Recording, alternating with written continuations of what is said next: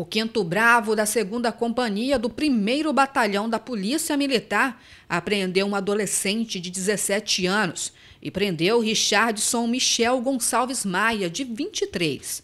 Os dois rapazes assaltaram uma adolescente na rua Joaquim da Rocha, bairro Castanheira, no momento em que ela saía do curso.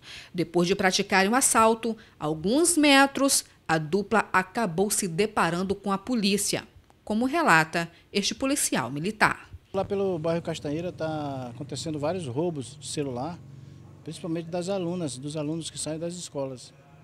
E o Quinto Bravo estava em patrulhamento pelo local e tinha acabado de, de, acontecer um roubo de uma aluna da Infro. Ela estuda na Infro, né? E tava, tinha descido do ônibus e próximo à sua casa esses elementos aí com essa bis é, abordaram e praticaram o, o, roubo.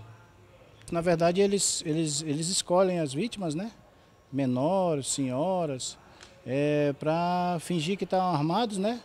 É, faz o movimento que está armado, aí a vítima, com medo, já entrega os pertences. No caso dela, foi a bolsa, celular, documentos.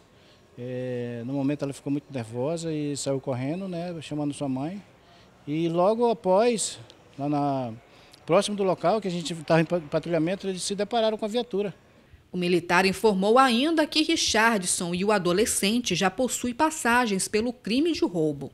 Os dois estavam nessa moto bis preta, que pertence a Richardson e não tem nenhum tipo de restrição. O maior já tem passagem já pela polícia, é, o menor também, e eles, eles tem um que é conhecido das guarnições, e eles, eles, eles praticam, eles estavam praticando roubo nesses dias atrás, fizeram várias outras vítimas no, no local. A moto não tem restrição, a moto é, é do rapaz de maior.